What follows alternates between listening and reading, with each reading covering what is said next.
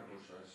as nomeacións salariais dos altos cargos, o seu Partido Socialista. Pois, eh, vou anunciar, xa dixemos que nun plazo moi breve, menos dunha semana, que falta para incorporarse o... A través do cano eólico das empresas eólicas estes tres anos, ende logo a nosa intención é que eh, eso, que tamén é unha fonte de recursos para os concellos, se manteña no futuro e pode aumentar. Por iso creo que nos xogamos todos moitísimo nesto, e por iso creo que o que hoxe falemos e o que podamos facer esa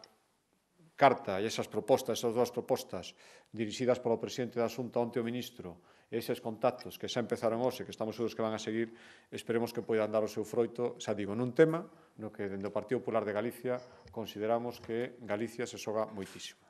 Pola tarde, pero bueno, a intención é eh, celebrarlos pois, máis ou menos un día